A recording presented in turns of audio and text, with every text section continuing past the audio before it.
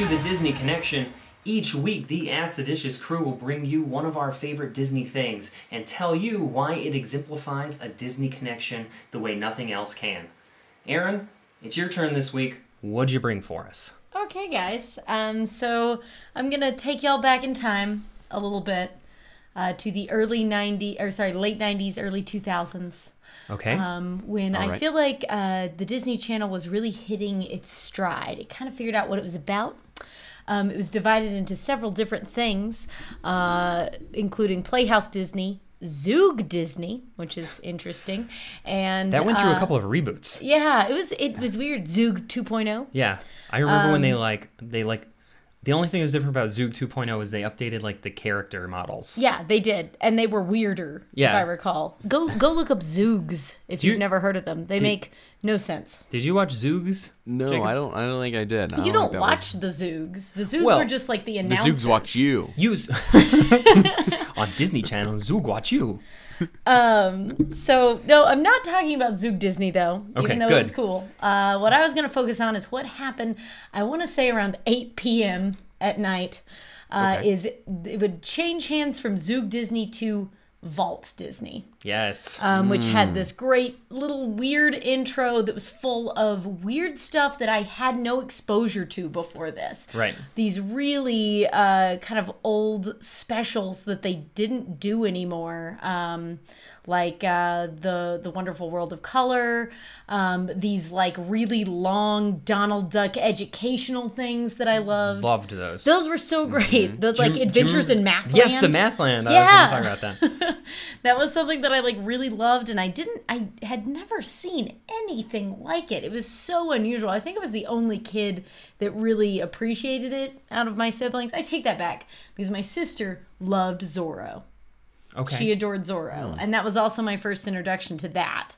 it was um, on Vault Disney. Yeah, because so it was this mix of like these old Disney things, but also these old TV shows, uh, like Zorro or the Mickey Mouse Club, Uh huh.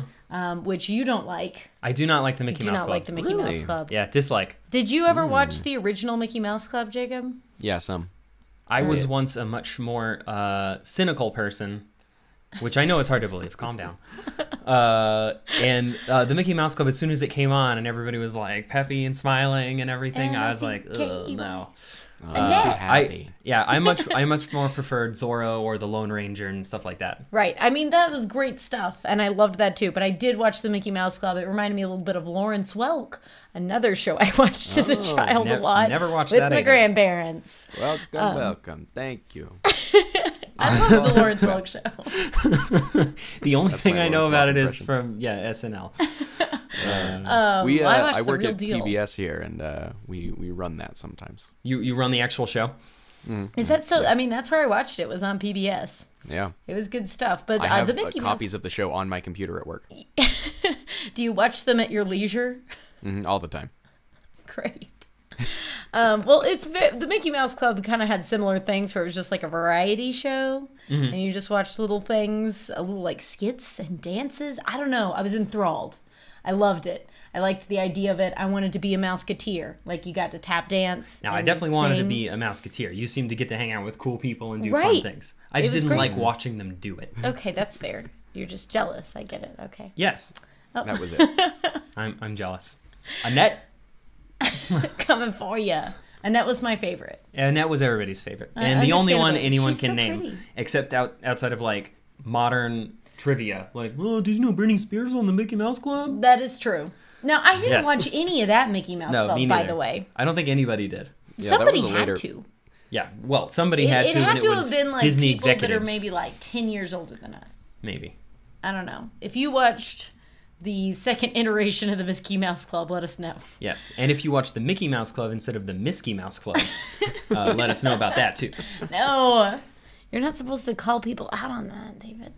We're recording. Oh my god. Oh. Um, so anyway, back to Vault Disney. Um, yeah, what I also really loved from it are uh, a pretty wide array of movies that they would show at night. Okay. um, that are this this weird era of live action Disney films that I I can't even really describe well. There was like that darn cat and um, like the original Flubber, which is the absent-minded professor, or uh, the ugly dachshund was one of my favorites. Never seen that one. I saw the other two. Yeah. Um, what's that? Wait, that darn cat. Okay, wait. No, there's a movie about a cat that's an alien.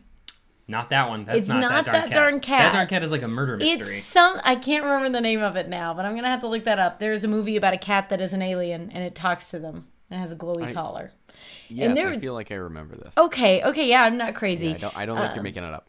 Okay, thank you. I appreciate that vote of confidence. I swear it exists. Oh, are you are you remembering it? Is that in Men in Black? Uh, no, I think there's there's dogs. There's like the No, pug There and is a cat that is. Cat has like the The galaxy on its collar? on its collar. Oh yeah, it's very similar, but I think the color just glows. And has a galaxy in it. But no, no, I And mean also like the in film's the called in Men in the Black. weird Oh, yeah. in the weird cat movie. Not a Disney movie. No. In the weird cat movie, it's it just glows. Yes. On- only glowing. No, I'm gonna have to look that up. Okay. But anyway, uh, Get back just to us. great stuff like that. Um, and We'll put it in the description below. That's what YouTube's say, right? yeah, I think so. They just point and then things appear. By the way, if you're listening to the audio version of this, find us on YouTube. You can Oh, see our yeah. faces. We didn't we didn't really uh, describe that. Sorry, we are also recording a video. I wasn't gonna describe it because it was gonna be seamless. I'm so, I'm so sorry. I'm so sorry. You've ruined the illusion. Never ruin the magic. I broke the number one Disney World Yes. rule. So, what about Vault Disney struck you as a kid, and for you is something that um, exemplifies a Disney connection in a way that other things can't?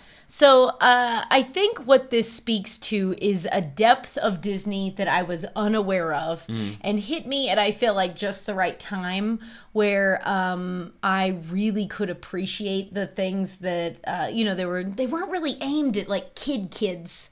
Um, the Vault Disney had a, a higher, a, you know, like a higher age bracket in mind with this.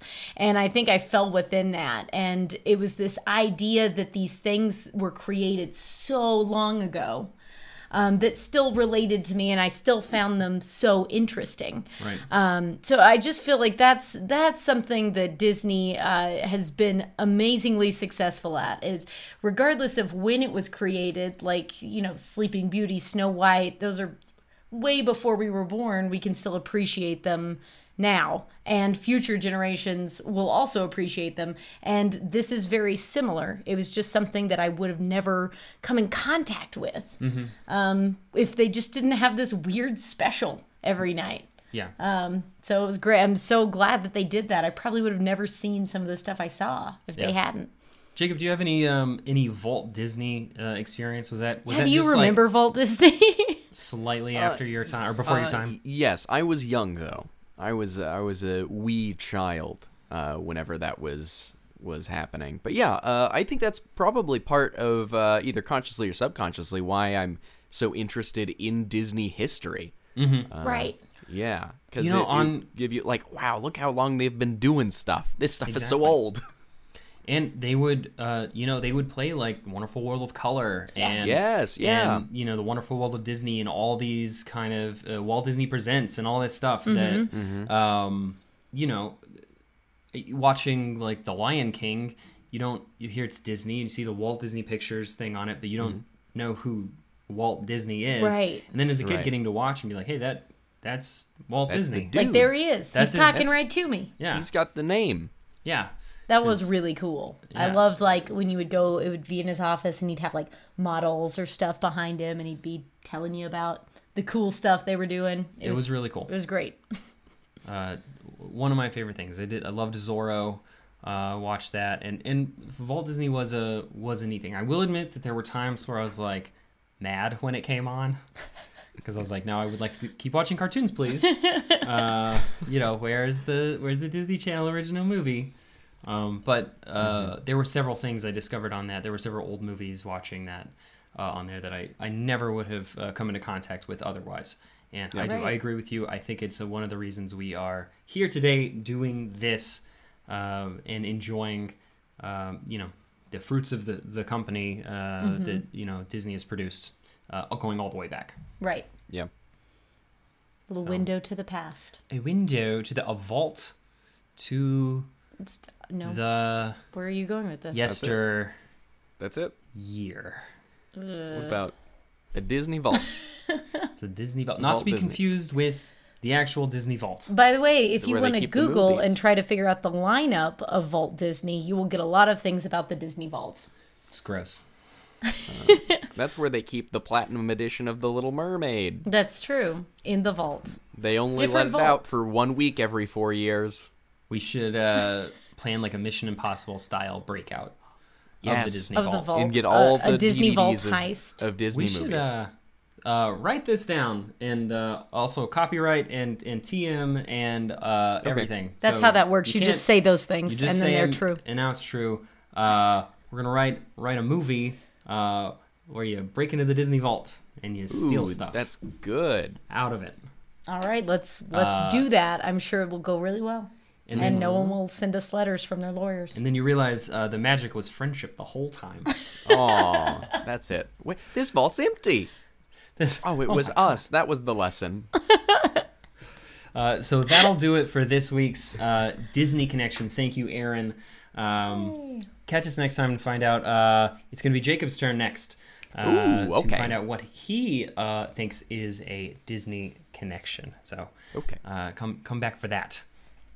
Uh, and that'll do it for the podcast this week. So thank you all for uh, listening in.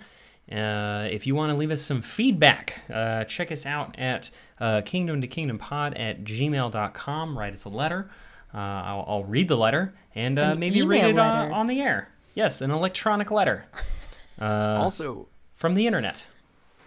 Yes, and speaking of the internet, you can send us uh, some stuff on social media, uh, some messages usually. Uh, the letters don't work as well through there because it's uh, that's not what the social media works with. Nope.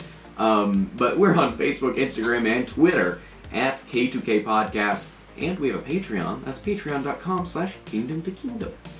Thanks, guys. Join us next week for another episode of Ask the Dishes.